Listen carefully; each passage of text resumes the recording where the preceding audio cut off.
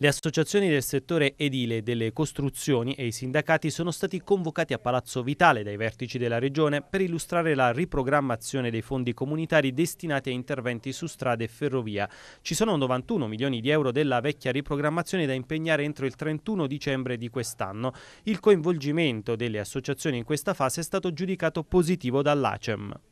Chiaramente nel merito dovremmo dare un'occhiata per capire, per capire bene tutte, tutte, le situazioni.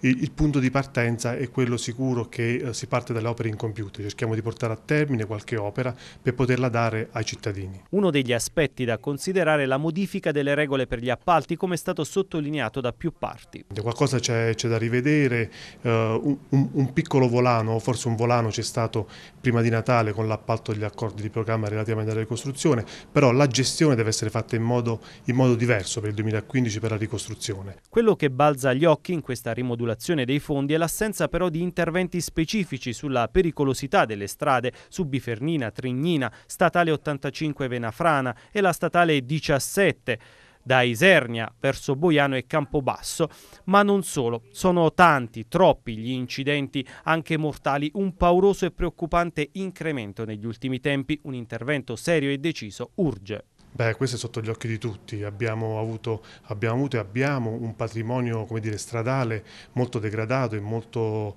uh, al quale è stata fatta poca manutenzione e, e chiaramente questo non giova, non giova, a favore.